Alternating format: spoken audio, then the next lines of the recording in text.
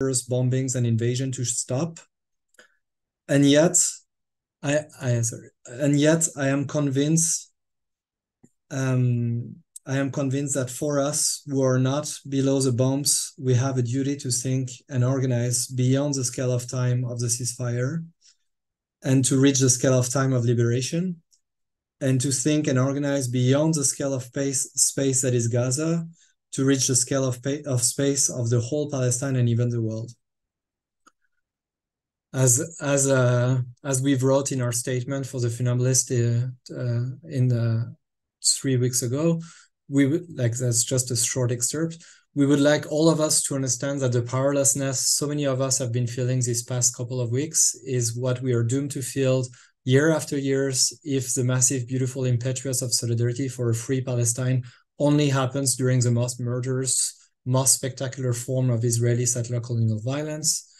We would like all of us to understand that if this impetus were to be sustained in time, months after the dreadful return to what many will call normal, normal being a more swallowable reality where only the slow, mundane daily violence is at work, the international support Palestinians have been generously nurturing for decades will have an actual chance to contribute to decolonization.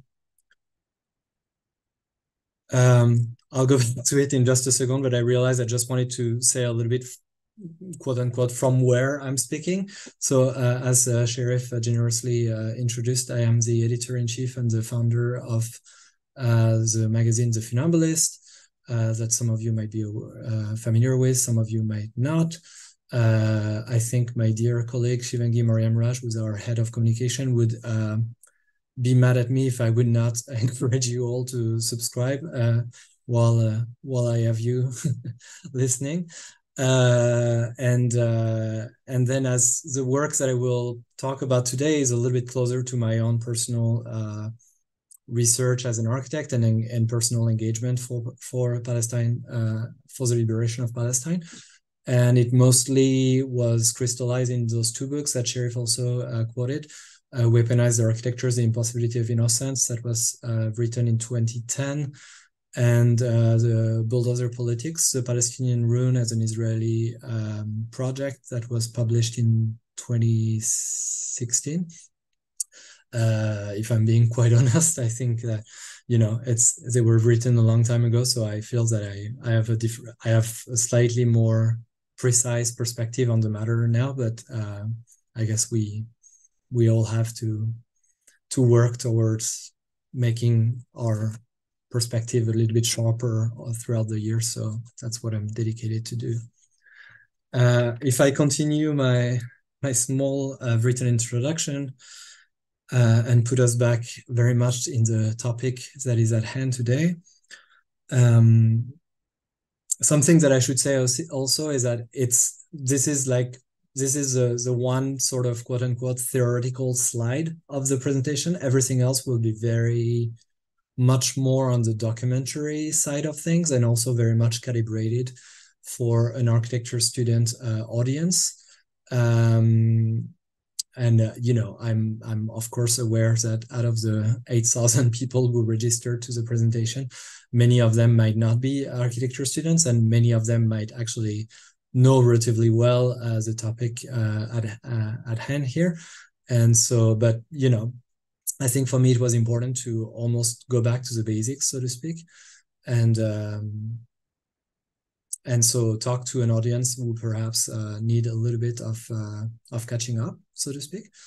Um, something else I can say is that every document I'm showing today, I have I have 170 slides by the way, so brace yourself. uh, we're going to be together for about two hours, but uh, uh, uh, and I'll try for you know I'll try not to spend a, an entire minute on each slide. Of course, that would be excruciating, but uh, just just so you know, and all of those slides are my own documents, um, whether uh, maps or photos.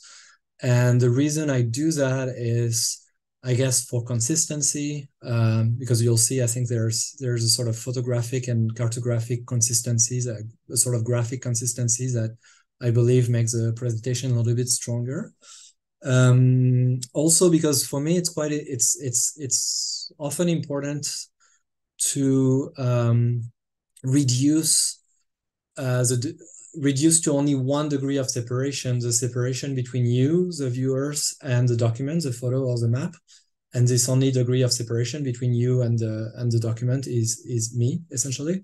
It's not it's not uh, mediated through anything else. So I I think that um, that's also something that might be useful, especially um, especially in the context of Palestine. Um, and then you will see that every every one of those documents is dated, uh, which I think also allows you to follow a little bit uh, the last 15 years of evolution uh, uh, of the situation in Palestine through my own eyes, which of course is an extremely subjective uh, uh, perspective, but but yet it is it is one that um, you know it's it's it's I think I think it goes back to this idea of consistency. So I'll I'll read just a, a little bit more and then I'll I'll go back to a more organic presentation.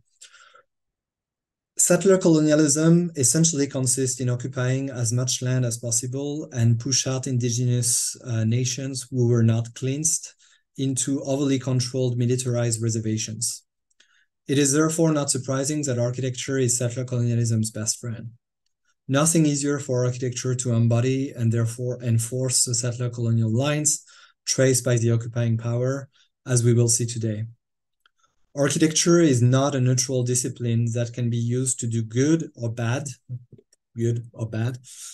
It is a political weapon, and like most weapons, it serves more eagerly the regimes of domination and their police. But every now and then, it also provides advantageous spatial conditions for revolutionary struggles to deploy themselves. May our work as architects humbly contribute to those while never indulging with the others. All right. So that's it for the slightly more formal.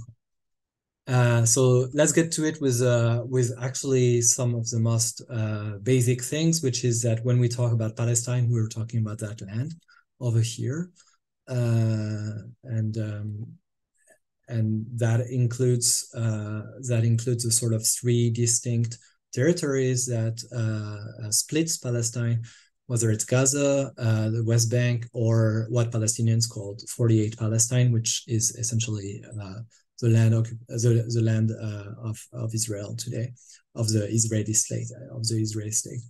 Um, and to also sort of explain how those three territories came came to be, we have to go back to the 1948 Nakba, uh, the catastrophe, and the 1967 Naksa, the setback.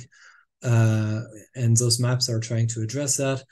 Um, the little so the the the land um, uh, the land in gray here um, that uh, is usually known as as the, as, as Israel, as 48 Palestine, is um, you can see those little white dots, which are essentially hundreds of Palestinian villages that uh, in the months preceding uh, uh, uh, the establishment of the State of Israel, and I think it's very important to say in the months preceding, uh, meaning that during the British colonial occupation of Palestine, it Zionist paramilitary groups uh, practiced the ethnic cleansing of, of that of the of the territory, uh, evicted all those villages, destroyed them, and uh, displaced over seven hundred and fifty thousand uh, Palestinians from from their land, who who then became refugees in Gaza, in the West Bank, in Syria, in Lebanon, in Jordan, and then formed the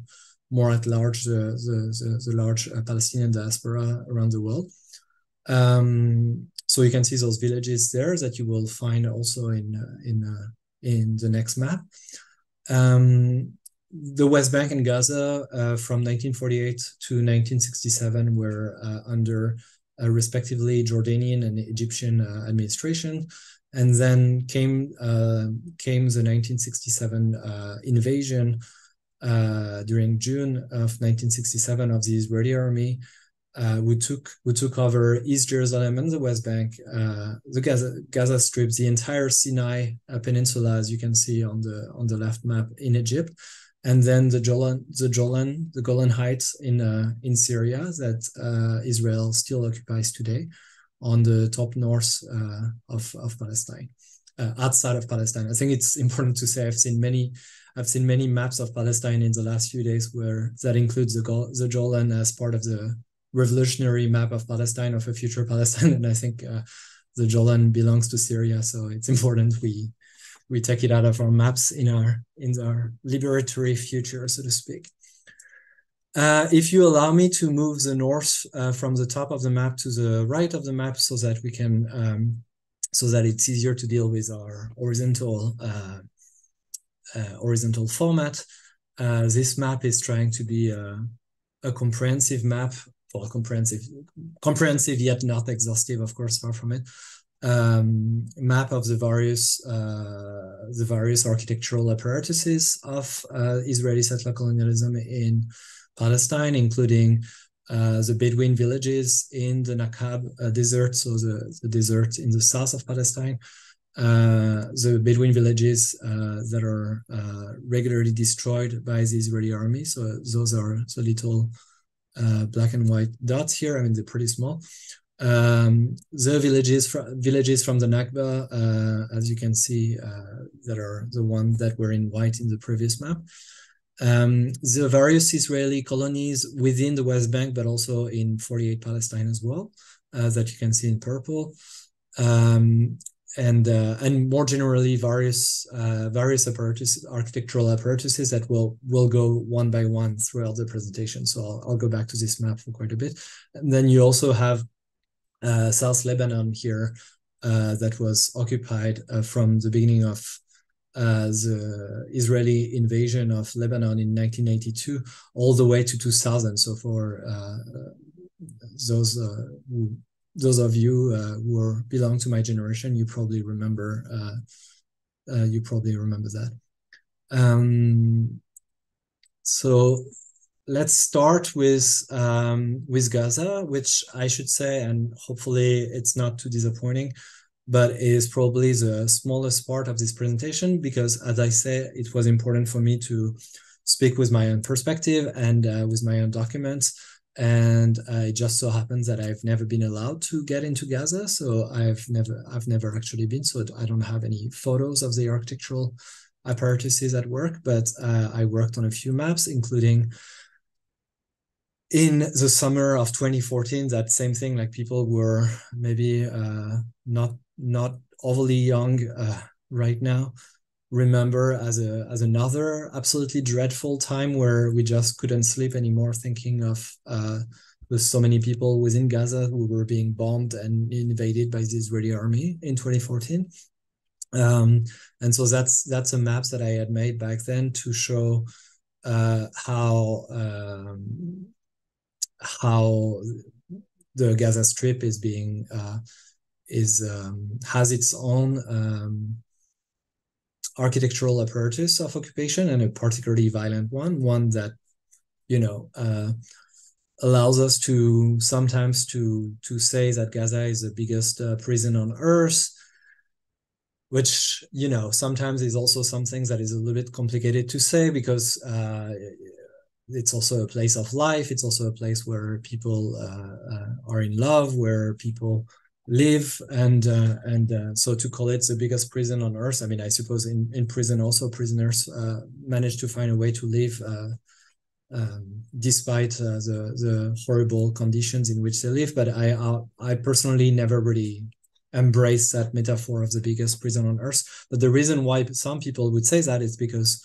gaza is literally surrounded by a, a blockade um, blockade architectural uh, apparatus, which essentially consists in a wall um, uh, as well as various zones um, uh, that creates the width of the wall, so to speak, where uh, people are being uh, quite literally shot at when they when they penetrated. And that's something I had, you know, I told you it's a 2014 map, but I had done like a very very small update in 2018 during the um, during the the march of return uh, of um, Palestinian Gazans uh, walking towards uh, towards the wall and being shot at by snipers. Um, so th those are the little black arrows you can see, um, and then the sea itself is being um, is being uh, sealed uh, by um, by the Israeli Navy. Uh, it's written six nautical mile as a limit here, and I, I drew it to scale. So this is this is essentially as far as um, various Palestinian ships in uh, boats, in particular uh, uh, fishermen boats, uh, can can go without being um, without being um, destroyed. Uh, and sometimes this um, this limit is actually brought to a much closer much closer to the shore. And I actually should have checked, but I've I would not be surprised that right now it's actually the case that we're we might be down to three nautical miles or or perhaps not even zero. Um, and then on the on the south side of the of the of the Gaza Strip, uh, the Egyptian border usually uh, brings absolutely no solace whatsoever um, to Palestinians in Gaza. Uh, there was a small exception when Morsi was uh, ruling uh, ruling Egypt in um, between 2011 to 2013. But both Mubarak and Sisi have been absolutely ruthless in their in, in the ways that they um, uh, didn't provide it. I mean, provide any any sort of assistance to Palestinian people in Gaza. Um, and perhaps if we go well, and those are other maps that I had made in 2014 and that, that I think still applies today, which shows very much how uh, the Israeli army, in in its sort of genocidal effort, is and and in, and in the way of being sort of um, of of um, allowing it to to de- to to deploy its violence without being necessarily uh, we, while deploying also a sort of a sort of uh, legal language uh, that seem to justify uh, the seems to make lawful uh, the, the, the killing of so many Palestinians.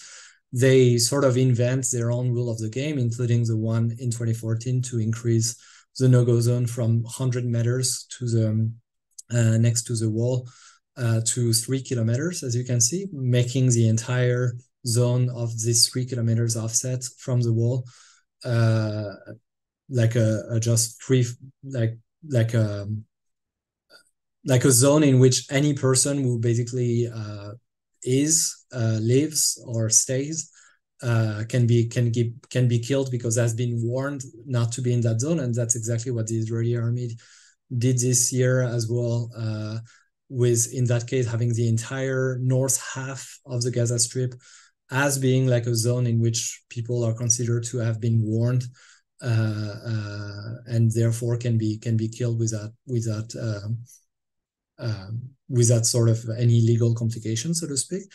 Uh, and of course, we know that the the rest of of the strip uh, in that in, in, currently the, the southern part is is uh, barely any safer anyway.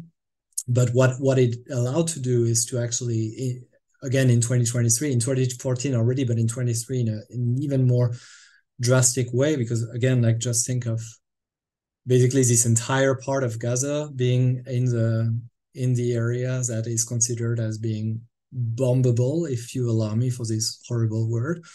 Um, and uh, and in and and basically in doing so allowed for a million and a half Palestinians to be displaced from their home and and uh, brought brought back to the south, brought to the south in a way that is very uh, that is also trying to i mean that that very very much fail to dissimulate the, the ambition of the Israeli state, which is to evict uh, most Gazans, if not all Palestinians of Gaza, uh, to Egypt and to create an, another Nakba. Um, if we do focus on this on this very on, on the most southern part of Gaza, so if so basically the the area here that is very close from the Egyptian border, uh, some things that I had been um, trying to do a few years after, well, just a, a, year after that, is to look at this very area and see, in particular, uh, see how the the sort of the layer of history um, of this particular area, which uh, is the south part of uh, a town, or it's the middle of a town called Rafah, which actually has a part um, in in Gaza and a part in Egypt, and was was cut uh, by the by the border, by the, the colonial border, um, and uh, and how those historical layers inform us about the various degree layers of destruction that the Israeli state have been um, implementing on on Palestinian homes. Uh, in particular, in 1971, uh, Ariel Sharon, who you might remember as uh, former prime minister of Israel, uh, in particular during the Second Intifada, uh, but used to be like a general of the Israeli army and the one in charge of the Gaza Strip in the uh, in the years that followed the invasion of the Gaza Strip uh, that followed 1967. Um, so uh, Sharon, influenced by uh, many other colonial wars, in particular uh, the French the French counter-revolution in Algeria, knew that uh, Palestinian refugee camps, and we'll get to it at the very very end of the of the talk of the teach-in.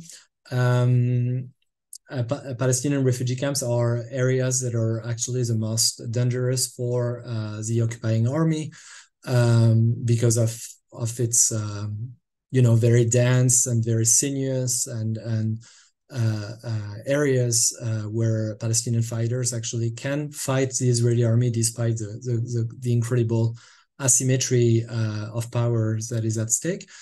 And so uh, Sharon ordered the destruction of 2,500 Palestinian homes in 1971, and in particular, dig, uh, dug, sorry, um, um, like instead of the small uh, space between each uh, building of the Palestinian uh, refugee camps, had bulldozers digging uh, what later would be called the the Sharon Boulevard by Palestinians, and the boulevard here refer to the way in Paris uh, where I am right now.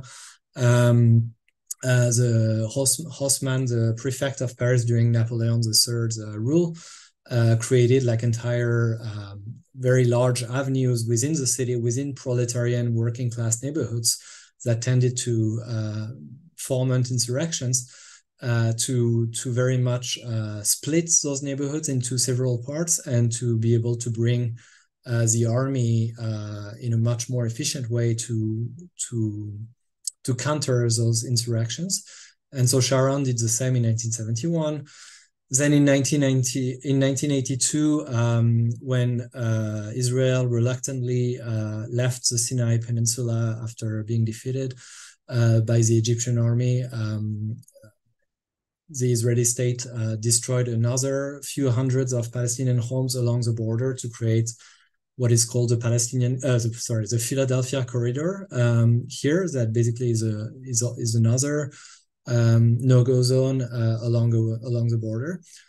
Um, during the second Intifada, um, oh, and I'm sorry, I, I had like much closer uh, look at things. Uh, you can see how uh, here's the there used to be the the airport uh, Yasser Arafat airport that actually lasted only for uh, a little bit less than two years eh, and was completely destroyed during the counter revolution, the Israeli counter revolution of the Second Intifada, and indeed during the Second Intifada, the the um, uh, the Israeli army destroyed another 2,500 uh, uh, uh, Palestinian homes with those massive Caterpillar D9 armored uh, bulldozers. Um, and then there used to be also settlements, Israeli colonies within the Gaza Strip uh, there was there used to be 21 colonies uh, in the Gaza Strip, and then it was destroyed. They were uh, um, they were um, uh, uh, um, emptied and destroyed uh, in 2005, following a change of strategy from the Israeli state. That and the strategy is, of course, the one that allows them to bomb Gaza whenever they see fit and that's it started relatively early after that in uh, in 20, 2018 you might remember in december 2018 january 2029 was the first massive bombing operation in the gaza strip so as I said, like the the part on Gaza is is the lightest one of this presentation, whereas this one is going to be the longest one, um, uh, uh, which is dedicated to the West Bank and Jerusalem that we can call Al Quds as well, and the Arabic name. Um, and so if we focus specifically on that part of the map, uh, then uh, we can see uh, well, I guess we will start with the Israeli colonies themselves. So all those um, all those uh, uh, purple uh, areas here that are homes of over 800,000 uh, Israeli settlers, uh, perhaps more now that the construction have been have been pushed. and um, what did I mean to say? Sorry yeah and and that are actually uh, i mean you know i don't talk much about international law this is not exactly the paradigm that i'm that i'm sort of eager to follow but just just for those of you who perhaps have a little perhaps a uh, higher degree of trust towards the international legislation uh, those 800,000 settlers are essentially living in places that are in violation of the Fourth Geneva Convention from 1949 that essentially states that no occupying power of a given territory can um, transfer part of its civil population uh, uh, to to these occupied territories. So, um, so if we look specifically at at at um, at those, um, this is a map that I had made like a, a very long time ago, but that are that are called uh, the Palestinian Archipelago um, which I had done quite intuitively, but I, it just so happens that uh, a French, another French uh, person, uh, Julien Bousac, an artist, had uh, created a, a, map even earlier than that, um, also called the Palestinian Archipelago, and that is um, essentially uh, trying to metaphorically to show a metaphorical West Bank in which uh, the areas determined by the Oslo Accord from 1993 um, those areas that you see here in like in in white and yellow are the areas uh, called A and B in the sort of uh, again international legislation uh, nomenclature, um, which are the areas on which the newly formed after the the Oslo Accords, the newly formed Palestinian Authority would have a relative um, a relative uh, um, sovereignty on on them. Um, and well in in the fact we realize it's absolutely not true because uh, we can see that we've seen like this this entire past years the Israeli army invading Nablus, invading Jenin in the north, uh, but also invading Ramallah. Um, so the Israeli uh, army comes and go uh, no matter what anyway. But you can see that those areas that are sort of given a certain degree of uh, slight degree of Palestinian autonomy are totally separated from from from each other, forming therefore this sort of metaphorical archipelago. Um, and therefore, the movement between those different islands is, uh, by definition, totally controlled by uh, the Israeli army. Um, and then you can see those in this sort of Israeli sea of control, like this sort of like light blue um, metaphorical sea. You can see those dark blue uh, areas, which are uh, the Israeli colonies in the West Bank. Um, so yeah, so as I said, like the movement between the different islands is totally controlled by the Israeli army. So that that's basically one of the uh, one of the checkpoint, what it looks like to be able to control uh, movement. So this checkpoint is between Ramallah and Birzeit, well, and the north of the West Bank in general, but in particular, if you're a student at the University of Birzeit, which is uh, a pretty big university in the West Bank, and and um, also uh, historically one of the key sites of Palestinian uh, uh, resistance. Um, you can you yeah you can be prevented from going to class essentially when by by by have by having this checkpoint closed or or to, to have like a an Israeli uh, 17 years old uh, Israeli soldier so, uh, sort of make you stop and take you away.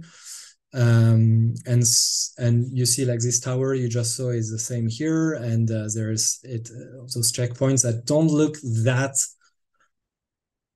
that don't look like they have such a huge imprint although you can see that also these palestinian homes here clearly was uh, the victim of this implantation but um, but it goes with an entire sort of uh, architectural apparatus that prevents movement and controlled uh, uh, allows for the israeli army to control anyone they want to control but if we look at the at the many Israeli colonies in the West Bank, um, uh, we can look at that. I, I used to have access to this. Um, I don't know if I if I should say that that publicly. I don't know if I was supposed to have access to that, but to uh, a sort of software that the Palestinian Authority had, were given um, uh, the infrastructure by the German state, I believe. Uh, um, uh, that that is like a sort of quite powerful uh, equivalent of Google Earth uh, over the West Bank and to a lesser extent over the Gaza Strip, uh, which allows for. Um, so I I did I did I I went over in in this sort of like powerful Google Earth. I went over each of those colonies and took a took a photo, so to speak so you can see uh, so you can see uh, each colony I will show right now. Uh, you will see it from from this this perspective and and then the perspective on the ground. Um, so this one is called uh, Geva Binyamin. It's uh, essentially on the road between when you go from Ramallah to Bethlehem. You have to you have to pass by it. You will see that I I I never go in any of those colonies. Like this is part of my this as much as as a you know as a French citizen and as as a visibly uh, uh, white uh, person who uh, probably uh, doesn't seem to bear much danger to uh, Israeli settlers, I could I could probably be able to to go in any of them, but this is something that I actually sort of refuse to do.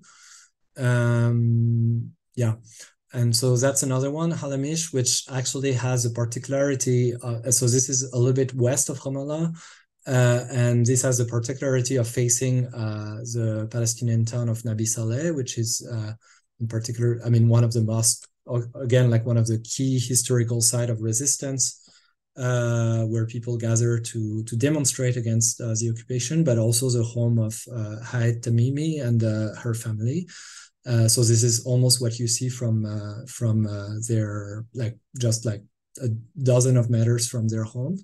Uh, these Israeli settlements. Uh, this is a photo I took uh, just this year in May when I was back with friends and comrades of the Palestine Festival of Literature. We were all of us were on top of this hill looking at this Israeli colony in front of us this is a sort of entrance uh, of the colony um, with, uh, as you can see, two Israeli soldiers, again, who might be anywhere between 17 to 20 years old with uh, machine guns manning the entrance. And this is the entrance of Nabi Saleh itself with uh, an Israeli uh, observation tower and and roads that are regularly, if not uh, all permanently uh, shutdowns that force uh, Palestinians to do a pretty big detour to actually reach the village.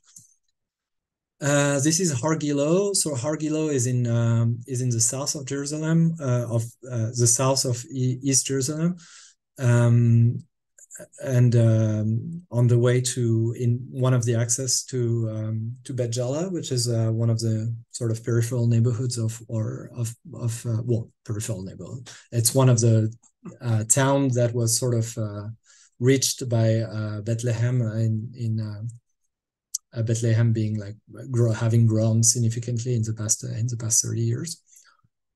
Uh, this is Har Homa, which is also facing Bethlehem, also in the south of East Jerusalem, uh, a, massive uh, Israeli colony uh, that went to replace. I don't have a photo because again the the rule is I use only my photo, but um, uh, if you ever find a photo of what it used to be like, this little hill uh, south of East Jerusalem, there was just like a forest, a beautiful forest on top of these hills that was completely annihilated by the construction of this colony.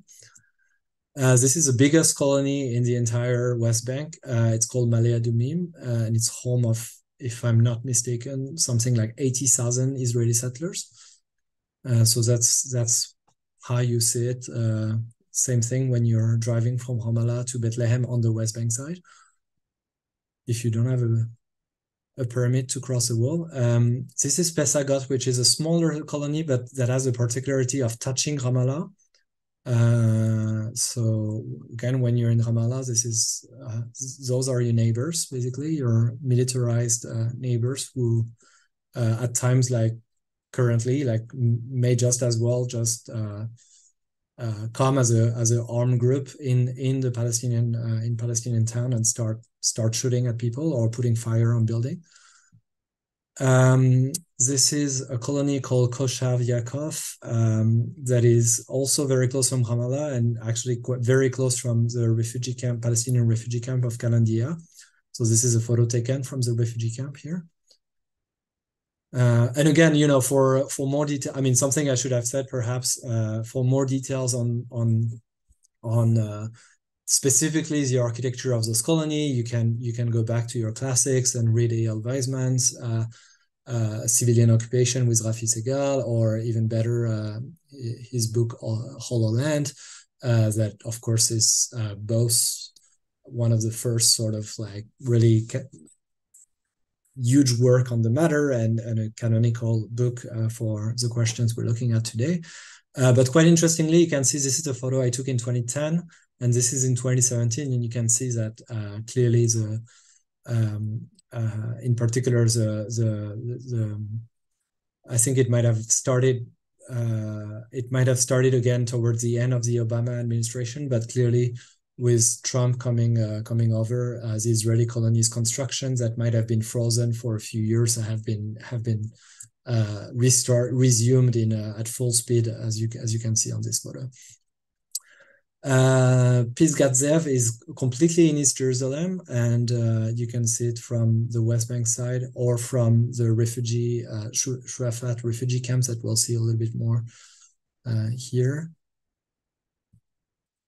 Uh, Pisgat Ze'ev is in is a little bit more towards Jericho, so almost in the Jordan Valley. I've, I've you know this might be a little bit uh, uh, repetitive to to show all those colonies, but I think they they both have common points in architecture and also their specificities depending on the regions they're in right now. So uh, that's why I felt it was important to perhaps uh, show them. And Kiryat Arba is the last one I will show. It's very close from the city of Hebron of uh, Al Khalil uh, and uh, and you can see that yeah it has like a sort of commercial areas with those uh, militarized tower.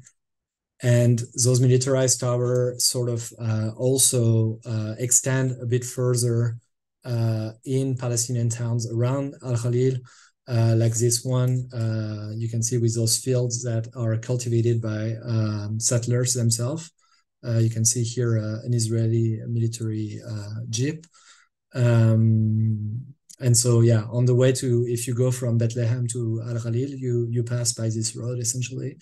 Um, and this, so that was in 2015, and this tower now looks like that in 2023. This is a, the same one. You can you can count how many cameras you you can find. Quite a few. Uh, similarly, on the same road, you you would you would see other towers of the kind that hovers uh, uh, above Palestinian towns, and that drives me to uh, quite literally to Al Khalil itself, that uh, concentrate on a very very small perimeter all those sort of all all this sort of settler colonial architectural apparatus uh, that you can see on a map here at the scale of the entire city. So Al Khalil is, uh, if I'm not mistaken, it is the biggest town in uh, in the West Bank. Uh, people may assume it's Ramallah because this is where the Palestinian Authority is based, but uh, it is not. Um, and so it's a pretty huge town, but for a lot of it that is under what uh, the Oslo Accord determined to be H2, which is the equivalent of Area C at the scale of the West Bank. So Area C, I haven't talked about it, but essentially it's the uh, uh, it's the C as in S S E A that I was showing on the metaphorical map earlier. So uh, it's an area. It's sixty three percent of the West Banks that are uh, in uh, still under absolute Israeli Israeli military uh, control. and so at the scale of of, of Hebron of Al Khalil, um, a, huge part of the city is actually under under this uh, this sort of areas that uh, at the scale of Al is called H2. Uh, and then more particularly within the within the old the historical town itself, um, uh, this this area is uh, yeah this entire area of the historical uh, part of the of the city is under full Israeli military control. In particular, the the oldest part of town and the old souk, but also importantly, and I'll show it in a minute, in a minute, the Al Ibrahimi Mosque, which is um, the mosque where Ibrahim and Sarah, so Abraham, Abraham and Sarah, his wife, are buried. Um, so in um, that's that's what it looks like uh, with this all this being completely an Israeli colony with uh, uh, uh despite this being like the Islamic uh, cemetery and this is the old so all this area is under full Israeli military control but as you will see this this sort of areas the, the colony proper uh, is even with a tighter degree of absolute military controls that I'll, I'll show in just a second. Uh, so this is this is what it looks like. So you you can recognize here on the maps that I just show. Uh, I mean, the, on the photo aerial photo I just show, you can recognize the Islamic uh, cemetery here, and that's like this sort of axis that we cannot really see, but we can sort of guess is the axis of the Israeli colony within the historical town. And um, adjacent to it is the market, uh, the Palestinian market, but so Israeli settlers are literally living above it, so they're throwing uh, various objects on um, uh, on Palestinians. So uh, Palestinians had to build this sort of protective net above their above their heads that you you will see. Uh, this is also something we can see in uh, in um, in uh, Jerusalem's old city. so you can see here there's a, a, watchtower above our heads when we are in the market in Hebron. Um, this is a photo from this year. I have to say, you know, I'm. This is a little bit uh, uh, seeing the the glass with one drop of water more. So it's really not much. But I I felt in 2023 the the the life of the market was a little bit more intense than in the past years that I had visited the city. So you know we might take what we what we can in terms of optimism but i think palestinians have been fighting hard to reopen some store to make sure that life continues uh, even despite under duress and then to renovate uh, some old buildings that were that would have been otherwise starting to fall off. Uh, and yeah there's like dozens and dozens of palestinian uh, stores that had been closed uh, during the second intifada and that were never never opened back as you can see. Uh, so this is even yeah so those stores are even are even like beyond uh, various uh, various checkpoints, so they're even more empty. Uh, this is a Palestinian school over here, so you can imagine being at school with this degree of uh, of militarization surrounding you. Uh, this is one of the checkpoints towards uh, the Israeli colony itself in the in the old town. This is actually not the most impressive one, but that shows you a little bit the sort of things that um, uh, compose the landscape of uh, Palestinians living in Al Khalil. Um, this is um, uh, this is another checkpoint, and uh, you can see that I, I am beyond it myself, as uh, this is something that, as part of, of PALFest, or the Palestinian Festival of Literature, we've been doing, where uh, international guests are invited to sort of feel the discount. I mean, are invited to be able to see for themselves the colony itself but also feels the discomfort of leaving our Palestinian friends here uh, on that side of the town because they would not get admitted within. Um, going back a little bit more towards the market, this is one uh, one other checkpoint to the to the Israeli colony within it.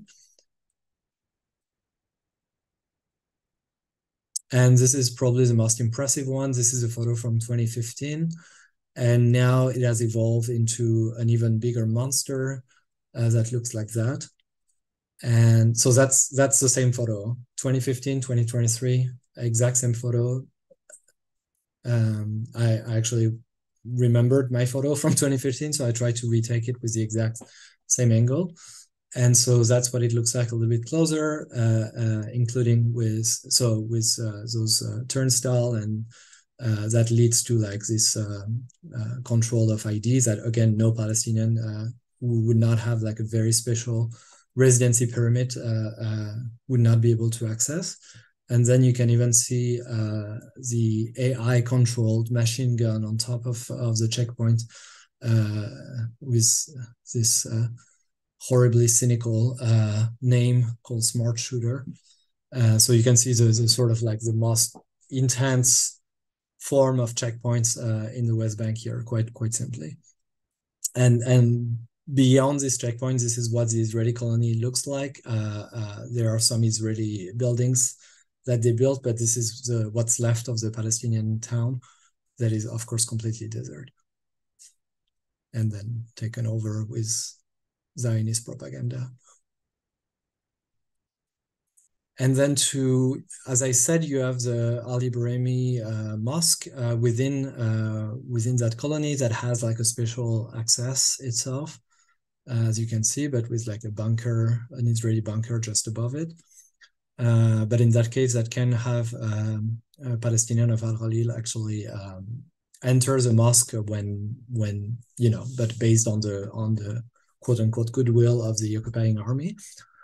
And actually, when we were there this year with Palfest, uh, we even had the visit of uh, an entire contingent of Israeli uh, uh military service soldiers uh, penetrating in the mosque itself uh, with their shoes on uh, and and in that case those are those are the 17 years old uh, uh, recruits so to speak but uh, with of course their commanders uh, with machine guns on it. So a quite a quite shocking scene right right right in front of of um, the grave of um, of Abraham and Sarah which actually are also uh, for part of it are also in a sort of uh, uh, settler synagogue that they built. Abraham being, of course, the founder, the, not the founder, but the the common ancestor to the three uh, Abrahamic uh, uh, religions that are Islam, Judaism, and and Christianity.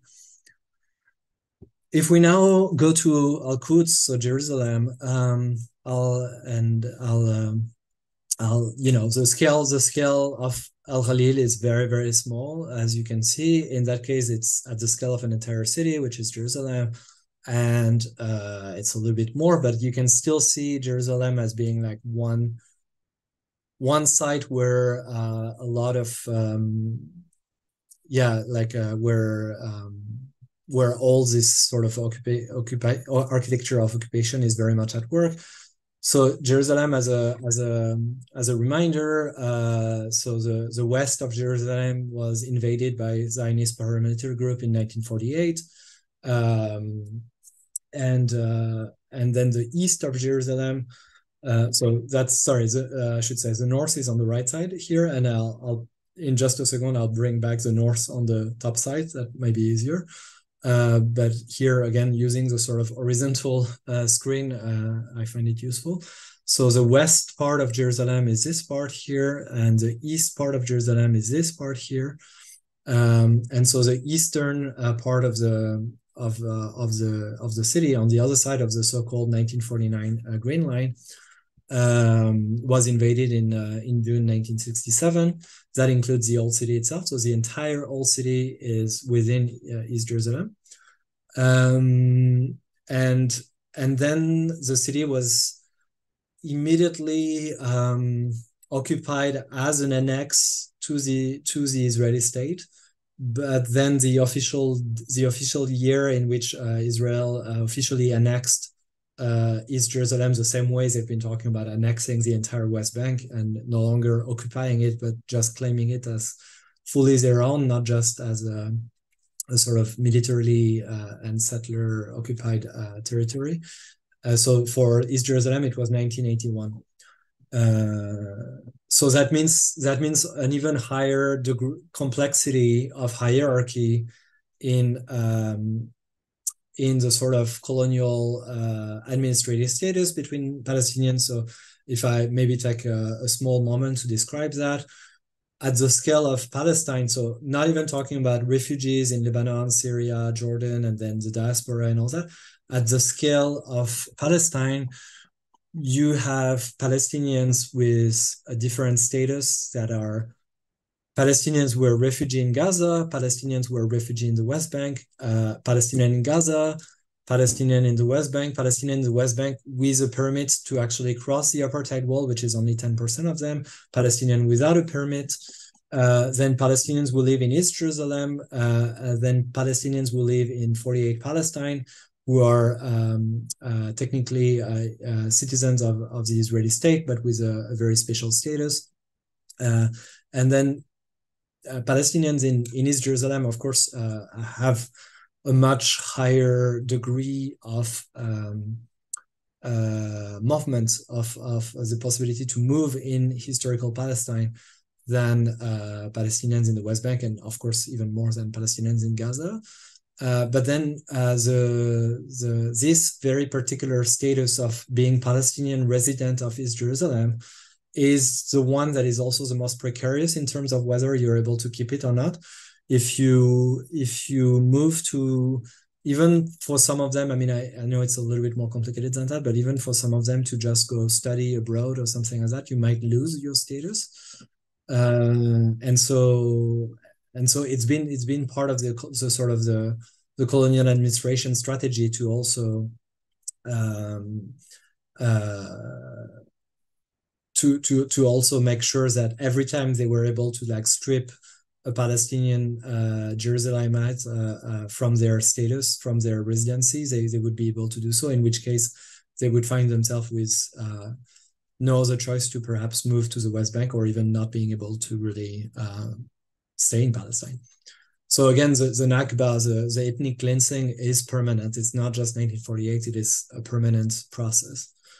Um, so if you if you do allow me for to again do a 90 degrees uh, uh, rotation of that map and then even increase to uh, such a way that we're able to see Ramallah here. So Ramallah is here, Bethlehem is here.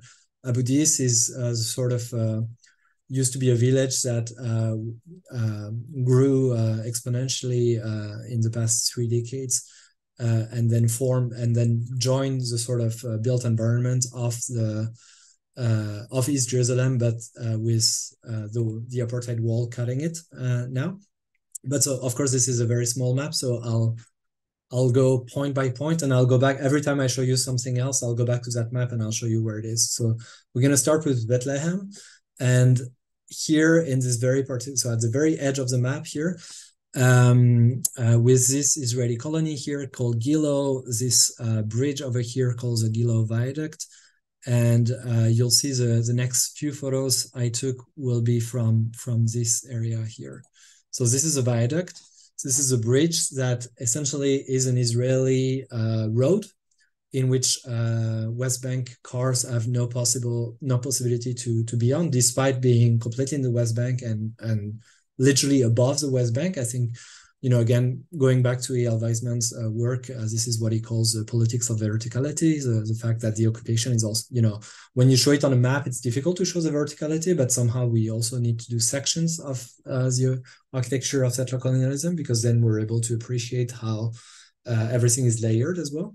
And then on the foreground, you you can see also the uh, the apartheid walls that in this in this very specific part, uh, um, which on the on the left part you have the valley of Cremisan uh, is actually not made of concrete but out of um, out of um, uh, barbed wire and and um, and metal.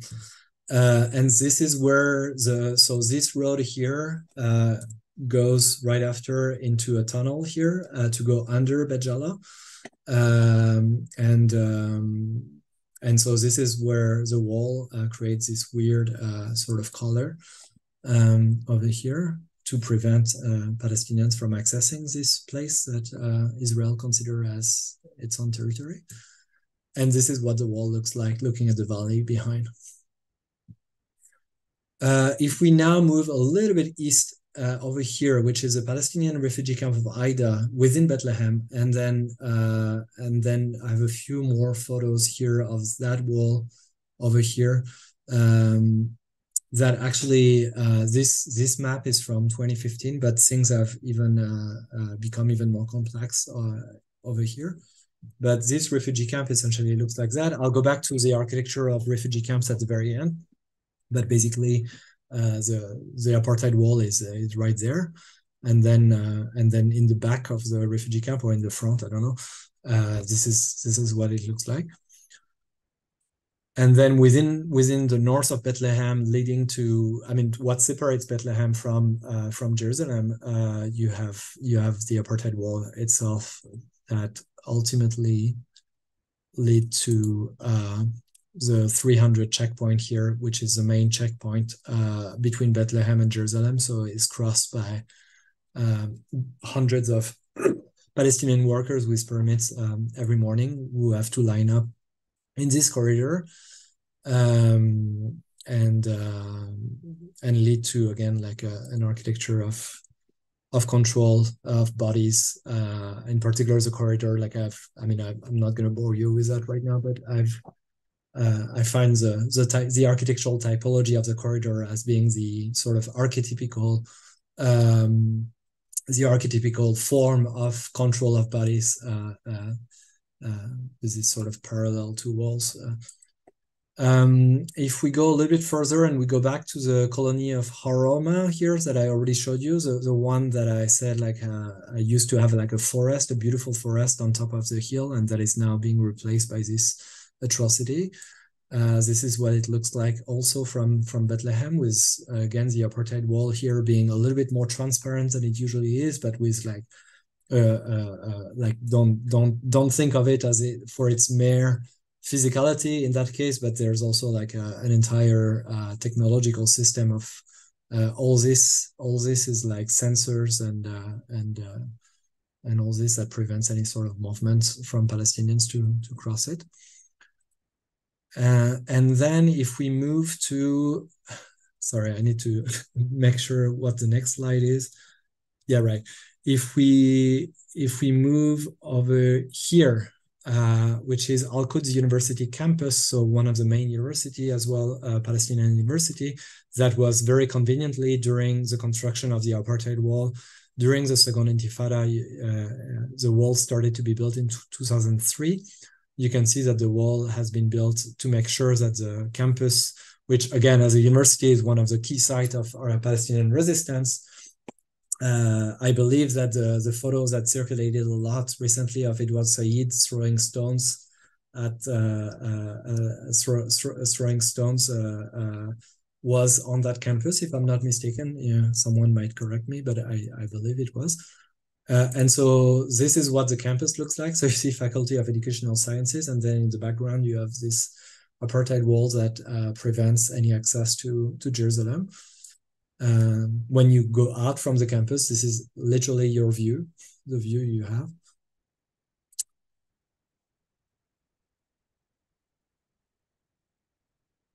And then if we go a little bit further uh, to this area here, um, you will see that, so this is a view of Jerusalem. You recognize uh, the Dome of the Rock here uh, on Al-Aqsa Mosque.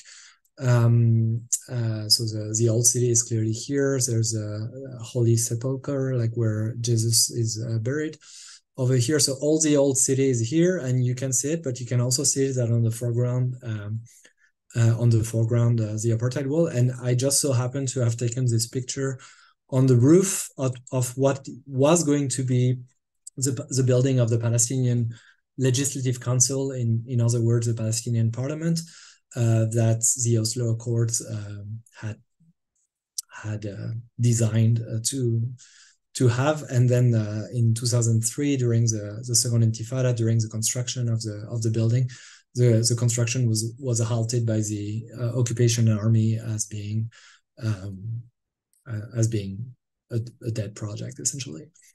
and so very very closely from there is when you're in Abu Dis, you can have basically uh, so something someone like me who has a European passport is able to go on that side of the wall, which is the side of the West Bank. Um, I mean, the side of the West Bank. Yeah, uh, that separates the West Bank and East Jerusalem. But don't don't think that the wall is the trace of uh, you know what the UN calls the Green Line. Like the wall is not on the Green Line, as you as you can obviously see.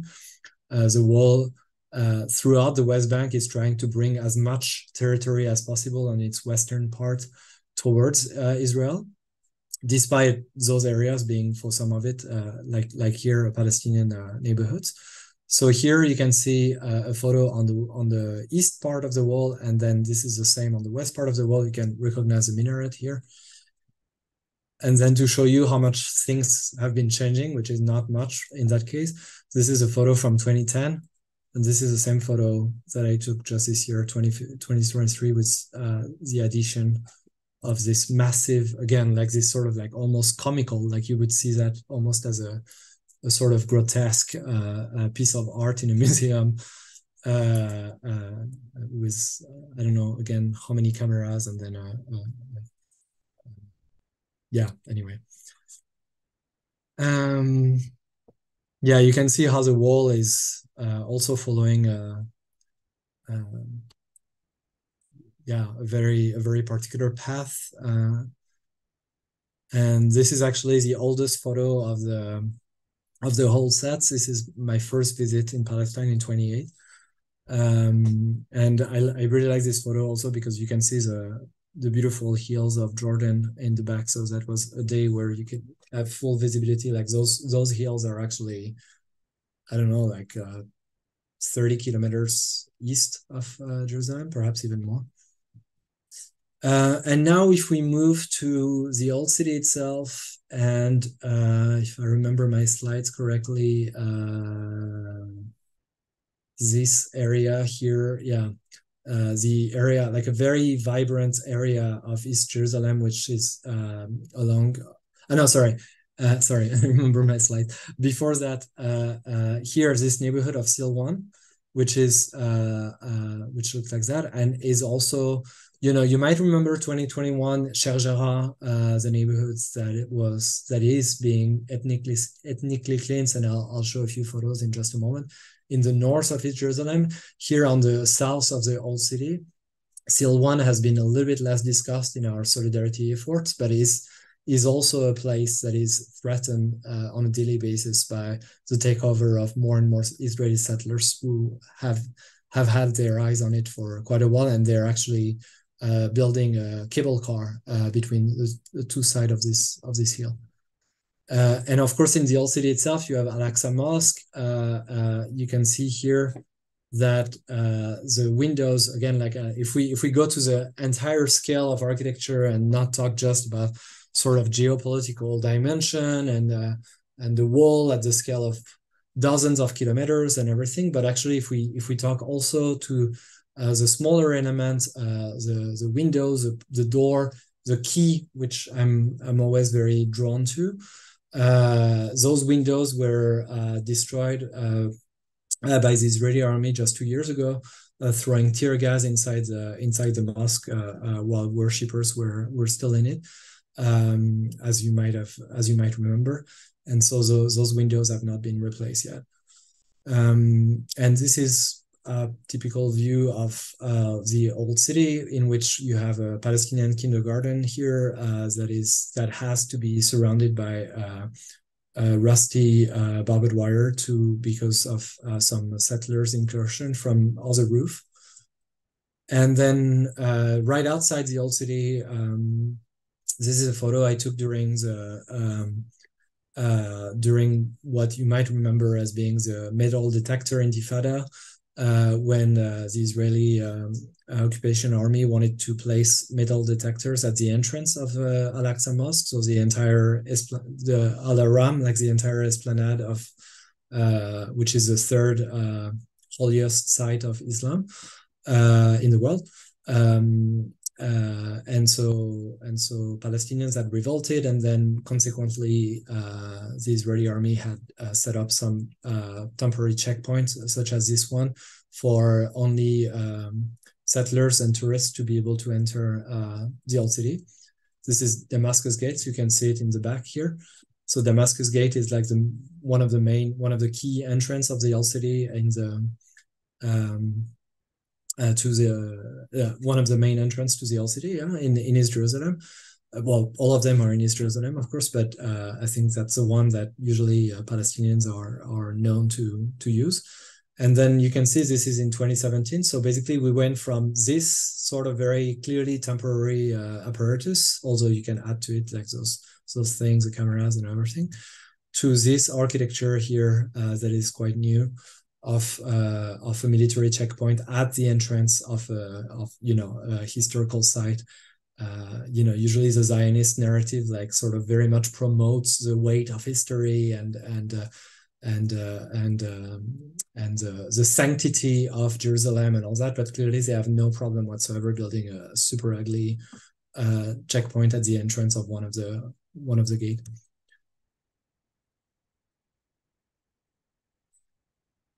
Um, I believe now we're moving to Mount of Olives and Mount Scopus. So here and here.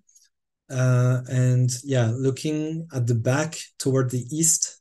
Uh, so being here and looking looking to the east, we can see that road over here that is split by the apartheid wall itself, as you can see. Like the road itself is split between uh, uh two with a checkpoint over here. And then a, a, little bit more on the right side, uh, this Israeli highway that um, uh, goes towards uh, the Dead Sea and that goes under the Mount of Olive uh, to to reach uh, the rest of uh, West Jerusalem. Um, yeah, so now talking about Sheikh Jarrah itself, that you might remember in 2021, massive massive Palestinian revolt to prevent I guess to prevent the ethnic cleansing of it to be um, to be done in silence. Uh, so Sheikh Jarrah is this neighborhood over here, and um, and so more and more uh, each house is being taken over by Israeli settlers.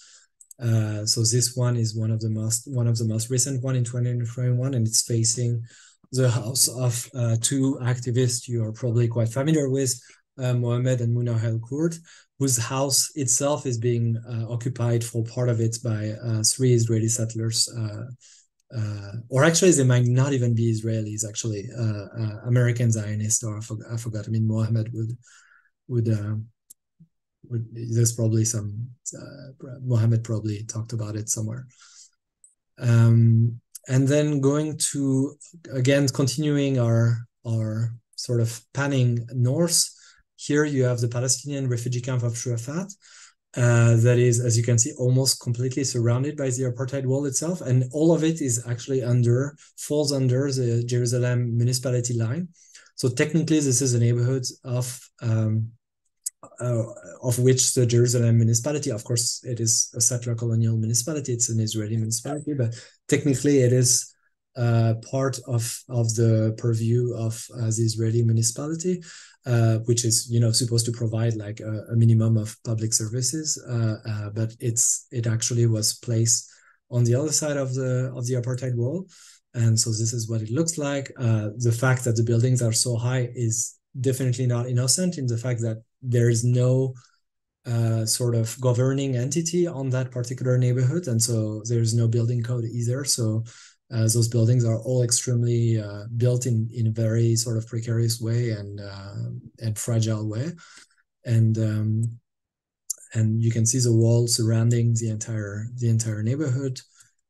And this is a checkpoint to actually access the neighborhood. I mean, if you access it in that direction, it's actually going from uh, East Jerusalem to uh, the refugee camp. So uh, pretty much anyone can go because that's never that direction. That's a problem. It's going back and uh, and you can see when you're on top of the of the refugee camp, you can see the Israeli colony uh, right across uh, from it, and you can see quite far actually. Uh, like Ramallah is basically be behind those uh, behind those hill. Again, the wall that surrounds the all those photos, except for the first one, are inside the camp itself. So we were here, the Shuafat camp. Uh, the colony I show you was this colony, and when I said like looking looking north, uh, that was looking in that direction. And so going closer and closer to uh, the most northern part of eastern of East Jerusalem, uh, you have an entire area area here that is cut by the wall, despite being again Palestinian on on on both sides. Um, and so this is what it looks like when you when you go north. Um, eventually to reach Kalandia checkpoint which is the biggest checkpoint of the west bank that links jerusalem with ramallah a little bit more in the north with again an entire part of the of the city being uh, behind the apartheid wall. Now this is a checkpoint looking from the eastern side of the so that's where uh, as a palestinian worker with a permit you would you would go to actually cross the wall uh, uh, to to work um, to work west of the wall um, and and essentially this consists in this very convoluted and very controlled uh, um, uh, apparatus, including those turnstiles that uh, Israeli soldiers have a, a, cruel a cruel joy in locking every time someone is in it. So you you find yourself quite literally locked. You cannot go back, but you cannot uh, move forward either. If you're anywhere close to claustrophobic, that's a horrible experience. Uh, so yeah, so basically all this pedestrian uh, checkpoint is under those roof, and then the apartheid wall is right behind it and that is more the the car side of things. And uh, recently, they set up this uh, pedestrian bridge actually to eventually reach what used to be over here uh, a former airport of uh, Jerusalem, uh, Palestinian airport. It was uh, even a, an air company called Air Palestine. and so the, the airport very recently has been re-asphalted um, and transformed into a parking lot so that was it for the West Bank and, uh, and Jerusalem. Uh, and now, if we move to this third uh, space, which is 48 Palestine uh, or Israel, uh, we can look at a few different places, in particular Lifta in uh, West Jerusalem. So it's over here. So Lifta used to be a Palestinian village um, that months prior to the establishment of the state of Israel was raided by um, Zionist paramilitary group who uh, massacred part of the population and evicted the rest of it. But uh, in Lifta is one of those rare places that is still visible within, uh, uh, despite being surrounded by an Israeli city, namely West Jerusalem. Uh, and so, and so the, there is a power of story of, of narrative in that in those ruins. uh, despite being tagged as you can see with uh, israeli uh, by israeli taggers um, uh, that uh, is still quite quite strong in the story it's able to tell the you know the uh, the total the the the architectural proof that the whole Zionist narrative of a, a land without a, a, a people without a land a land without a people for a people without a land being uh, a, a total fallacy. Um, and you can see that those those ruins those palestinian ruins are still living with like more and more over the years more and more uh, israeli uh, uh uh, architectural neighbors, so to speak. Uh, and then within bigger within other big cities such as Haifa, which has I believe a 25% Palestinian population, um, you can you you also have those sort of living proof of uh, the lie on which Zionism is built of Palestinians not really existing or or um, uh, not really having like any sort of like um, form of uh, of towns or I don't I don't know I don't I don't know what now yeah. But so so you can see that those buildings those Palestinians buildings are still very much uh, very much uh, existing but more and more uh, they're being they're being quite literally built on by Israeli developer projects. So I think this is also where like architects like I mean you know this sort of this sort of rendering will look all too familiar to many many of us over here. Um, and so so yeah i think this is something that uh, we all to to very much consider uh, and then Jaffa, uh, what used to be one of the biggest Palestinian city in uh, pre-48 Palestine, is even perhaps even more painful to visit when you do, with uh, with like um, a sort of um, liberal Israeli uh, uh, middle class moving more and more from Tel Aviv to to Jaffa to Jaffa um, through in those in those kind of buildings that uh, remind us of many architecture of gentrification around around the world, but that in that case is a is an even more intensively colonial gentrification that you can think of. uh, where the word Jaffa itself is being even uh, denied. Like uh, we are we are way south of. Uh, I mean, we are way inside uh, uh, Jaffa in that case, and this former Palestinian building has like the name Tel Aviv on it. Um, and then in the, the area that separates Tel Aviv from Jaffa, you had a Palestinian neighborhood called Al Manshiyya, uh, that was uh, absolutely obliterated by the, the Zionist paramilitary groups uh, that uh, invaded Jaffa in 1948. And um, this horrible museum uh, that they built on top of a Palestinian um, former merchant building right next to the beach with like, you know, the, the, again, the sort of like the tourists that uh, the Zionist uh, uh, propaganda manages to to bring to to the beach in in Tel Aviv, uh, saying that this is a, a, paradise for all liberals and queers and feminists of uh, of the world. Um, then right next to it, you have this horrible museum dedicated to the to the to the history of this uh, Zionist paramilitary group uh, uh, that massacred people and took over Jaffa in 1948. It's called the Irgun, and yeah, I think this this museum is also is a testimony to, I think, to something we sort of don't discuss that much because it sounds like too subjective and not very serious to say that, but also how ugly the colony is. And uh, I was I was just recently uh, in the southwest of the U.S. Uh, right alongside like along uh, border towns of um, of the Navajo Nation, and that that was that what really hit me uh, how ugly the the colony also is, uh, architecturally speaking, in particular. And um, yeah, so this museum is probably a testament to that. And then Al-Lid is what what people would call the mixed city in uh, 48 Palestine, meaning that it's a city where uh, Palestinians uh, um, Palestinians live uh, quite literally alongside uh, Israelis, uh, and then in um, in the city you can you can find some still some mark of of the of a Palestinian town it used to be pre pre 48 with various ruins for those that were not destroyed.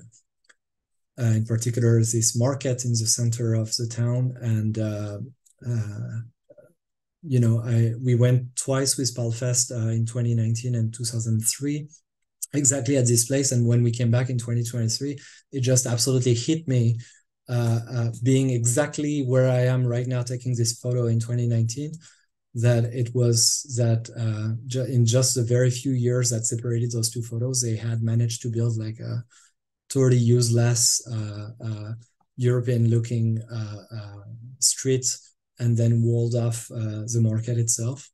Um, in a pretty outrageous way, as you can see. Like, I mean, if you if you want to see those four years of difference just between those two photos. So yeah, and and in Al-Lid is also it's also the site. I mean, I think quite quite importantly, you know, the the photos I've been showing you in the past uh, three minutes or five minutes um, are photos of Palestinian buildings that we can still see there. We can still we can still see the ruins. The ruins are able to tell the story of both how they used to exist and how they were destroyed in 1948. But more often than not, Palestinian villages and, Palest- and entire parts of Palestinian towns have been not just destroyed; the ruins themselves were destroyed. And this is the case here on this site, like very ugly site with like a, a uh, um, a garbage container and uh, and all that. This used to be the site of the of the house of uh, George Habash, who is the founder of the Popular Front for the Liberation of Palestine, and on which there's literally no nothing nothing left. And then one of the variation, this is no longer in lead. One of the variation that uh, the Israeli state has been has been uh, has been doing to hide also the, the Palestinian villages and the few ruins that are left is to declare them as natural reserve, as na national natural reserve. Uh, and then uh, in the case of the Jewish National Fund that you can see here, the JNF, uh, that used to collect uh, pre-48, used to distribute like little money boxes uh, in the Jewish diaspora along uh, around the world uh, in in the diaspora that had some Zionist sort of sympathy, but again pre forty eight, which is I think also something to be judged a little bit differently, although uh, although it was inscribed in the very nature of Zionism what what what it was going to be, the sort of settler colonial and ethnic cleansing dimension of it. But so the JNF went from um, having like uh, collecting a bit of money to to buy land from Palestinians in uh, historical Palestine, something that pre forty eight uh, uh, Palestinian uh, activists maybe maybe pre forty eight perhaps that's not the right word for it, but Palestinian activists were very adamant in in Palestinian people not selling their land. precisely fearing what would what would then happen um, and uh, and so the JNF went from having this money for to buy land to no longer needing to buy land since the land had been invaded and had become Israel. So it completely uh, started a new activity, which is to um, to grow uh, forest. So that's why you can see a little tree here. And part of the part of what the JNF has been doing is to grow pine forest in particular in a in a sort of effort of Europeanization of Palestine, like a way to for uh, Ashkenazi uh, Israelis, who of course are the sort of like the uh, you know there's something to be said of it. That's I'm not a specialist of the Israeli society itself, but uh, there's something to be said about the Ashkenazi supremacy uh, within uh, the Israeli society itself. And so these Eastern European deciders, like wanting to wanting to Europeanize the Levant by growing uh, pine trees is not innocent, and even less is innocent is the fact of growing trees quite often on former Palestinian villages in a way that would dissimulate uh, their past presence to everyone. And so, finishing with uh, perhaps something a little bit more um, that has more to do with Palestinian resistance, which is kind of the opposite of this photo right here, which is a photo uh, that I took six years ago of the construction site of Rawabi, which is this uh, completely built out of nothing uh, uh, uh new Palestinian town north of Birzeit. Um, well, west of Birzeit, really, um, that a Palestinian millionaire uh, has, or billionaire perhaps, uh, has been has been pushing to build as a sort of as a sort of hyperbole of um, of an era uh, that followed the Second Intifada, in which the Palestinian Authority, uh, I don't know, that's perhaps that's there's something a little bit more subtle to be said, but essentially lost interest in the struggle for liberation and started to want to to develop uh, the little part of territory on that under its very relative sovereignty to develop it economically. And so that's that uh, that created like the, the north side of ramallah that you can see today with like many many developments many architectural developments some of which looks exactly like israeli colonies in terms of their architecture to uh, to this town of rawabi that is just like the the the apex of an, a Palestinian architecture made for the Palestinian bourgeoisie, in which the occupation becomes becomes uh, invisible, and so Palestinian refugee camp, in my view, are the exact opposite of this architecture. Uh, this one is the one of Kalandia, uh, and it's it is um, it is uh, an architecture that might appear at first glance at, as uh, messy, but I think uh, a more, uh, a much better way to say it, more than messy, is uncontrollable by an, an, outside force, be it the Palestinian Authority, which has no authority over a Palestinian refugee camp anyway, uh, but also of the Israeli military that uh, find has quite a bit of trouble fighting the uh, Palestinian fighters, in particular, as you've seen last year in uh, in uh, Nablus and Jenin, um, and for, and this one is in Aida in Bethlehem, the one we already saw, and I think this is what I was hinting at at the very beginning in my introduction in saying that um, sometimes you know architecture in my in my opinion architecture can never be liberatory. It can never be emancip- emancipatory but it can sometimes provide the spatial condition of the revolutionary struggle. Like it like and and my favorite example in in that sense is uh, Algiers casbah so the oldest part of Algiers, that in 1957 when the French colonial army was trying to dismantle the Algerian Revolution uh, in in Algeria, in the capital city, uh, uh, find a lot of trouble fighting the the Algerian National Liberation Front in a part of town that was very again like very dense, uh, very sinuous. What what the colonizers would call labyrinthine, even though like anyone who lived there, of course, would not find it labyrinthine. No one would get lost and and uh, allows also for the inhabitants and the non the inhabitants who are not taking necessarily a part in the in the sort of the most literal or direct form of resistance to actually very much participate in the solidarity with uh, with the fighters in opening their homes in allowing for people to move from one roof to another and to have uh, and uh, those different uh, things uh, that in the case of Algeria and in the case of Palestine is uh, I find quite um, inspiring for the way we think about architecture. And this is the last slide I will have. Uh, happy to also have some friends from uh, who were invited at the PALFest edition of uh, 2019. In the middle, you have Nick Estes, uh, uh, Lakota historian. You can see Samia Henni a little bit behind, uh, Simon Brown, Keller Easterling, Maddie Sabag, Mabel Wilson was right behind Maddie. And this is the entrance of the Aida refugee camp with this massive key. Uh, and usually I said I'm fascinated by keys, but usually it's because they very much crystallize uh, they, they very much crystallize the political order of architecture uh, in in in turning a door into a wall, to put it quite simply. But in the symbologic in the symbology, I don't know if that's a word, of Palestinians, a key is a key of return. It's a key that Palestinian refugees, just like many refugees around the world, uh, have kept from their homes. They had to, they were evicted from, and they had to, uh, uh, they had to, uh, they were for, forcefully displaced from.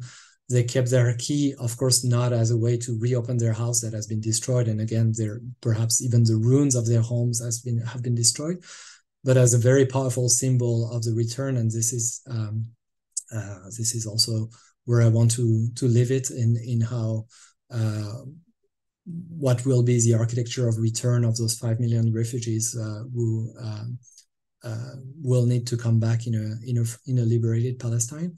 Um, and so the key being this very architectural object, I find it also quite uh, striking to end it on that.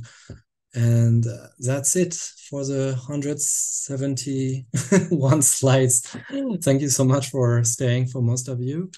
And uh, I think we might have a, a, few questions. We'll, we we have 25 minutes perhaps to to take them.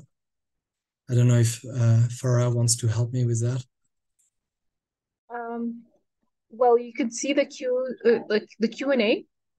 We've got some interesting questions. Um, uh, if you want to choose from them, would you like to do that?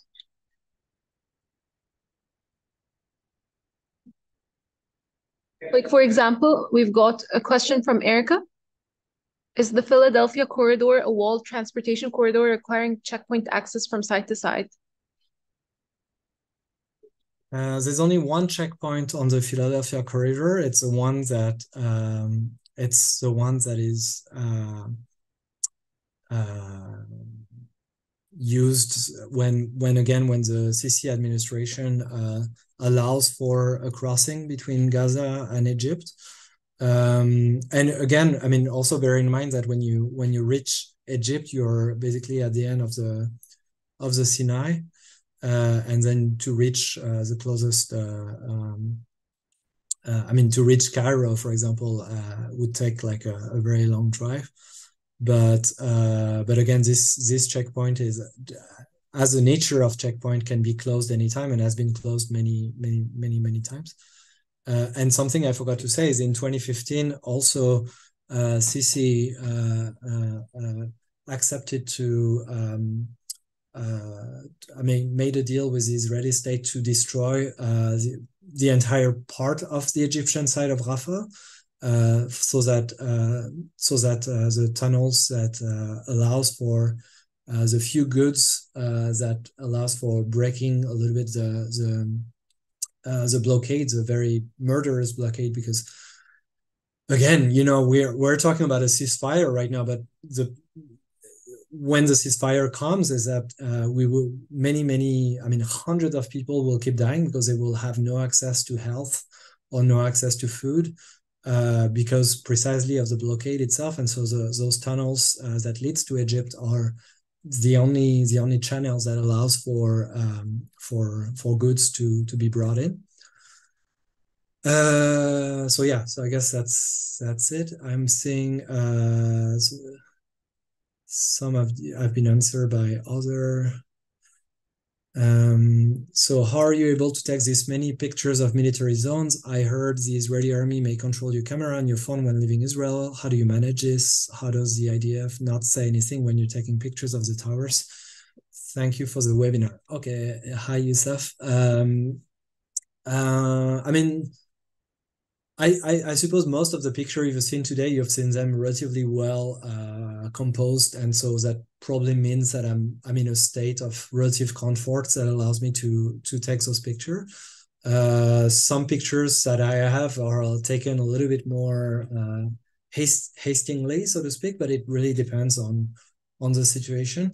I think in general, um, uh, settler colonialism being on the one hand so total like just like occupying so much space that it, it, literally cannot control every inch of that space but also quite quite importantly as well uh, um, I, th- I think it's been it's been a while now that the Israeli state is not really scared anymore of anyone from the outside to document the occupation because clearly everyone is aware of it and is not doesn't really change much about how the US state in its very colonial complicity with the state of Israel uh, would, would act or anything like that. So as much as I think what we're doing tonight is, or today or this morning, uh, is uh, is useful. I also think that it it doesn't really fundamentally uh, change things to show what's happening. So I don't think they're extremely scared. I mean, I yeah, the the whole uh, phone phone camera uh, checking has been there's been some bad experiences for sure but i tend to send everything uh, online before anyway. And uh, and sometimes to leave from uh, from uh, to leave from um, amman airport rather than uh, tel aviv's airport which allows for a lesser like um, yeah i mean essentially when you enter from jordan the entry is very hard but the exit is pretty easy. And then when you go through tel aviv airport the entry is quite hard, and then the exit can be a, a nightmare. But uh, but um, yeah, but also, I mean, you know, elephant in the room. I think being a white guy also allows for a lot of this impunity as well. Myself, although it's not always been the case, and it's not always been that that a clear cut. But yeah, clearly that's also something to consider when answering this question. Are the, the photos being shown okay to share with credit outside this webinar? Yes, uh, I think most of what I do is usually under Creative Commons uh, licensing, so you can you can all go. Uh, what is the permitting process to build the structural support of the Israeli Gilo viaduct in Palestine? Uh, they, I mean, they, the Israeli state can do whatever whatever it wants. It it occupies the territory, so I don't think it I don't think it creates much of a problem. Um, ah, okay, I think Edward Said throws a rock in one of the visits to the border in south of Lebanon. So perhaps that's me who. Um, uh, I think I know why I I made this association because I remember in 2021 students of Al Quds University throwing stones, and somehow I think it it the, the background seemed very similar to me. So I think I mixed up both photos. So Edward Said was in the in the south of Lebanon, not in Palestine proper. Um, many questions.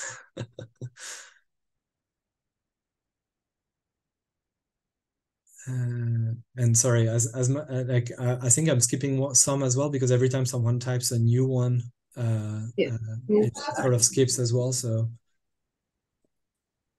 Um, I mean, quite a few people are asking. Uh, uh, quite a few people are asking um, about perhaps uh, some other works than mine to to reference, and uh, of course, you know, I mean, as far as I'm concerned, uh, my my elders uh, have been um, have been uh, Eyal Weizman's work and and um, Sandi Hilal and Alessandro Petti in decolonizing architecture. Uh, but I think I'm someone who learns as much from his elders as from his uh, uh, younger relatives, and uh, and there's been a, a, lot of work, in particular from Palestinian architects, that is important to to mention. I mean, I talked about um, Mahdi Sabbagh earlier, Nora Akawi, uh, Dima Srouji, um, and uh, and many others that uh, now escape my panicking brain after one hour forty minutes of presentation. But um, but I and and and you know also I think the people I quoted are also people who will live this this uh, uh, despite um, spending a lot of time in Palestine and having grown up in Palestine until pretty recently, are who live in the diaspora. But then many people in Birzeit University uh, have, are also uh, very importantly to be cited. And uh, um, but I, I, have to I have to admit this is also why I wanted to to do uh, uh, uh, this presentation strictly based on my own documents because I think when it comes to the politics of citation of other people's work, I feel that I'm also a little bit missing from indeed like some some um, people within Palestine, within the West Bank in particular, uh, we've been doing uh, very important work, and um, and uh, as someone who lives outside, has been perhaps more familiarized with work, in particular of Israeli uh, architects. I mean, uh, Sharon Rotbard would be another one of it. Uh, his book white city, black city. Um, and and of course, Israeli architects. I don't think they would they would mind me saying that, but who have the the massive privilege of having access to the to the archive of the of the Zionist state itself and uh, and uh, and and sort of a, a, way to do research that is uh, that is widely different from someone who's a, a researcher or professor or student at uh, Birzeit University or at Al Quds University. Uh, There's also an interesting question here. It's about someone wrote, I noticed that a lot of illegal settlements in the West Bank look like American suburban neighborhoods and stand out starkly in contrast to traditional Arab neighborhoods in both Palestine and the Middle East. Is this also a characteristic of colonial architecture? Yeah, I think it is in many ways because also quite simply, some of those settlers are Americans. Uh, you know it's it's interesting. I, I, mean i don't know it might be a little bit cynic, a cynical thing to say but i feel that uh, it, there was something quite interesting in the way um, you know israel has always like pe- like let's say israeli liberals or or even like israeli sim- liberal sympathizers or something like that have been always arguing that um, uh, uh, Palestine, like occupied Palestine, is is widely different from a situation such as uh, such as Algeria, for example, because uh, you know Algeria used to be colonized by France, and then settlers could go back to France if they if they if they had to, which they did, but for for reasons that uh, were not uh, imposed by the Algerian National Liberation Front. But I mean, it's a it's a whole other story. But um, um, and and you know i don't think i don't think many of us contest anyway that i mean are not really interested in talking about um uh about about um a, about a free palestine uh, that would not also include uh, israelis who are willing to to live uh, on equal terms with uh, with uh, palestinians. Uh, but it's interesting how there was there's always this discourse and then when we talked about people who have been taken as hostages of uh, Hamas uh, in the past uh, in the past few weeks, then all of a sudden everybody became like Americans, French, and uh, British, and all these kind of things. So clearly, people have uh, many people, uh, many settlers also have like roots in in Western Western countries. and I think you know when it comes to settlers in the West Bank, which again is a little bit more. Uh, if you if you do consider international legislation as somewhat having an importance in this whole conversation, I think um, being a settler in the West Bank uh, is a pretty strong political act from uh, uh any any uh, Zionist uh, enactor some people some people do it because it's the land is cheaper because it's even more stolen than the land on the west on on in Israel. Uh, but then many people do it with a sort of a political agenda to uh, to annex uh, the West Bank and join it with Israel. And many people who have this sort of like ideological impetuous, so to speak, are also people um, you know, who, who may have grown up somewhere else than in Palestine and who may have grown up in the US in particular. So somehow they almost find their their perfect uh, habitats indeed in those in those colonies that indeed look a lot like a, a, a US uh, sort of neighborhood. Um, yeah, I guess that's what I can say about it. Mm-hmm and um, again with with this with this important spectrum of europeanization which again is not the israeli society is not white in the way we we think of it usually. Uh, uh, uh, and uh, and you know it's very it's always important to understand the racial hierarchy within israeli society itself between uh, eastern european ashkenazis uh, Northern African um, Sephardis and people who, who were expelled from the Iber- from Iberia in 1492, like the Spanish and Portuguese crown, like expelling all Jewish people from Iberia. Uh, and then um, the uh, Mizrahi Jewish uh, from from Yemen, from Iraq, and who who are Arabophone for a lot of them and uh, Ethiopian Jews. So there's there's an entire sort of stratification as well within the Israeli society uh, that is important to consider. But clearly, the, the, the sort of dominant uh, racialized group is is the Ashkenazi one, and therefore, the fact that perhaps it looks like uh, an American neighborhood and Amer- the the U.S. being uh, itself a European col- settler colony created by uh, uh, very much British, French, and Spanish colonial powers, bring us back to Europe and bring us back to this effort of Europeanization that also is expressed through architecture.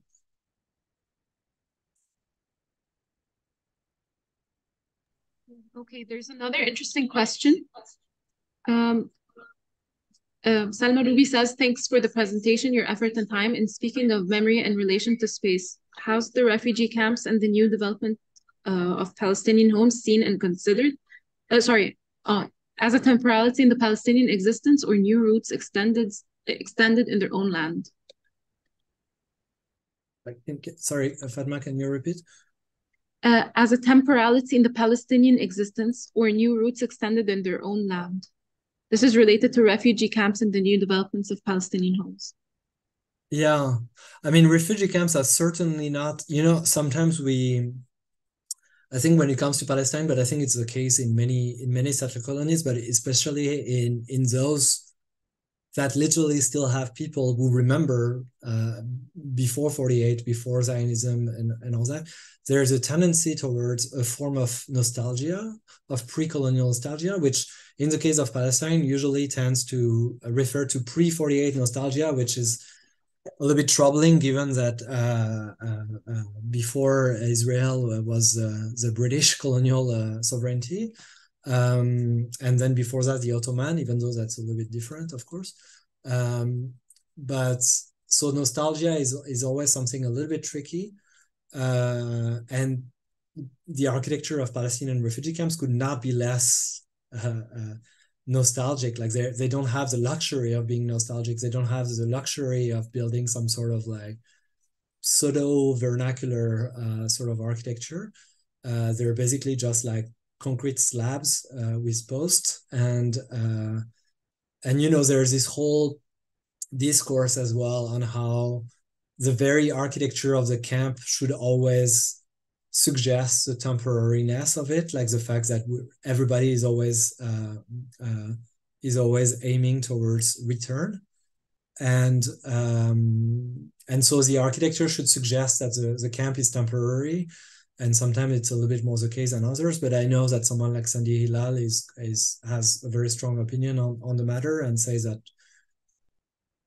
say that they, they, like we should be able to to provide uh, an architecture that is uh, dignifying to Palestinian refugees, and uh, and this this is how she and Alessandro Petti built a, a school in the Shuafat camp.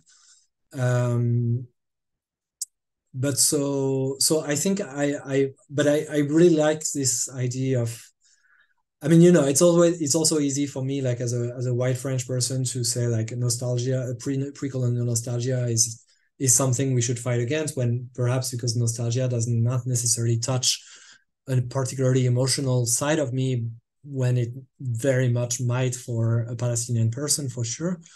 But uh, but yeah, I suppose that something that is also proper to the architecture of Palestinian refugee camp is that it, it doesn't have that luxury. So I, I also find that quite compelling.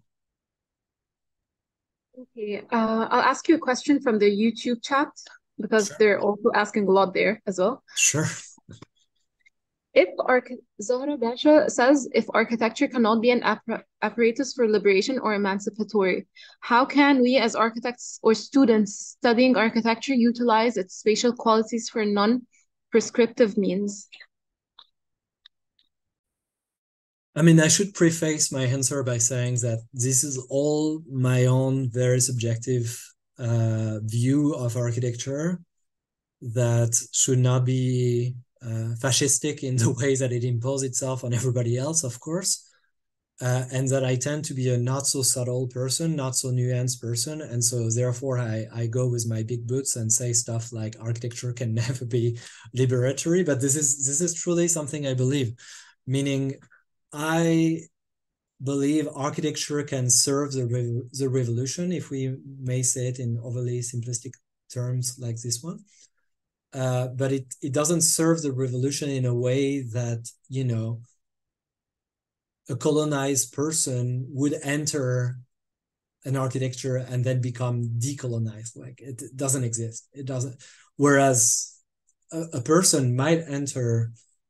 Um, a building and become a prisoner. It's called a prison. And by the way, this is also a massively massive absence of this presentation. Also because you know, uh, I think it was Youssef asking like, how can I take those photos? I think it would be a little bit more complicated to take photos of uh, a prison, an Israeli military prison.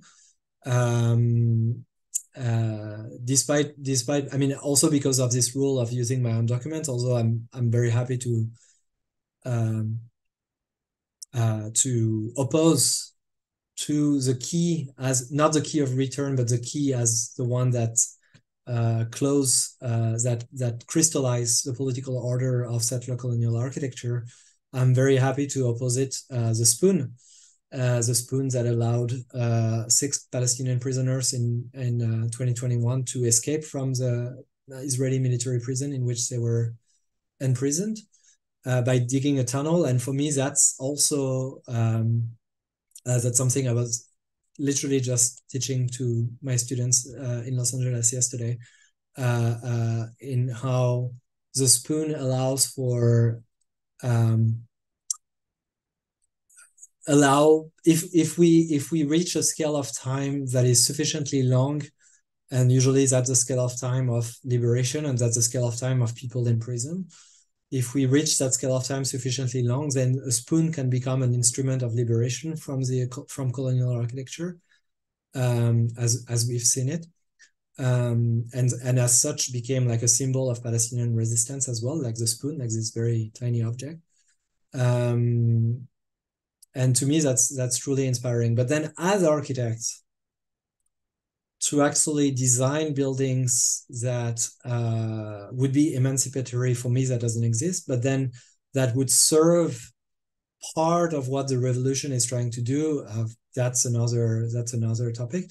I i, I think I, I just think that uh, architecture is always an instrument of, of control of some sort or, or or protection, but quite often the protection is is the protection of the powerful and then what does that mean for us to to design to protect the the not powerful those who are on the other on the receiving end of architecture's violence usually is another question. But it's something that i think it's very important if if i leave architecture students with one uh, sort of more general uh, consideration something to consider would be to think that architecture is always more it's so easy for architecture to embody an oppressive uh, political regime.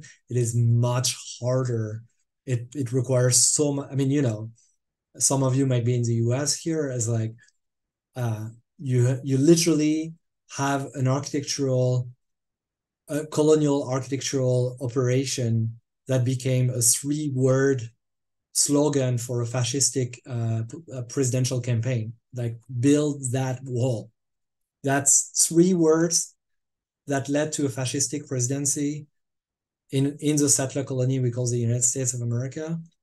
Uh, that is an architectural action. That's how easy it is to conceptualize a settler colonial architecture. Whereas to think of an architect, an anti-colonial architecture requires a hell lot more of of of thinking and humbling and um, I, I believe also community service in many ways as architects, but as as a as a humble uh, as humble architects acting in their capacity of architects, just like everybody else is acting in capacity of a nurse or a teacher or uh, a fighter or something. Okay, uh, there's an interesting question about, but it's anonymous, so I'm not sure who to attend uh, to address. Uh, but what are the conditions on which Palestinians can actually build when the Isra when Israel controls what materials that come in and out, and how do they enact that control?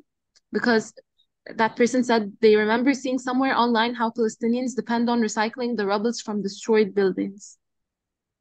Yeah, so that would be Gaza specifically. Uh, well, quite simply, cement is uh, is forbidden to enter Gaza.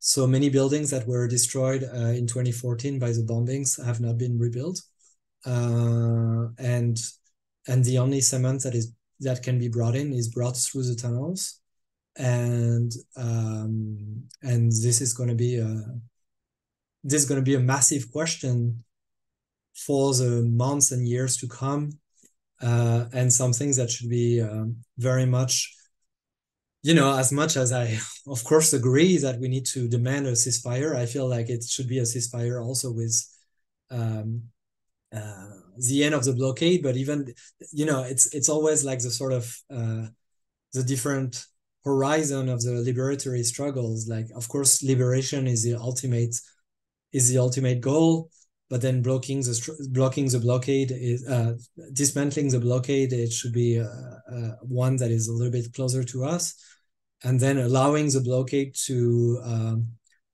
to enter like the many many medical need that will be needed and the instrument of reconstruction is to me uh, very crucial but at the same time it's it's if if it is if it is not coming from a, a balance a balancing of power uh, that massive worldwide solidarity with Palestinians would would force uh, the state of Israel to obey rather than something left to their goodwill. Of course, it's never going to happen, and uh, and that's why calibrating the way we demand things is is is absolutely crucial. And and on that, I might I might have to stop it here because there's over a hundred questions, and I mm-hmm. thought I I think like keeping it in two hours is actually probably a reasonable thing to do. But I'm I'm very grateful to everyone who've been here today and everyone who's been spreading the news, and in particular everyone who've organized uh, uh, collective viewing in architecture schools or in other organization in in Tunis, in Turkey, in Norway, in London, in the US, in Canada, uh, and maybe some in some places, and in France, and in places I I don't I'm not even aware of. So this is uh, this is truly beautiful. So thank you for for doing that. Uh, thank you very much, uh, Leopold Lambert, um, for this very insightful and uh, informative talk, timely uh, talk as well.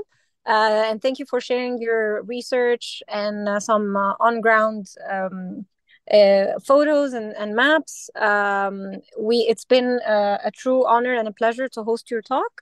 And we would like everyone to stay tuned for our uh, remaining days in architecture. We have um, several lectures and events uh, at AUC. Uh, American University in Camp uh, in Cairo. So please join us in person if you're around. Uh, thank you very much. Thank you. Have a thank you, Leo. lovely evening, nights, afternoon, morning. You too. Uh, Bye. Bye.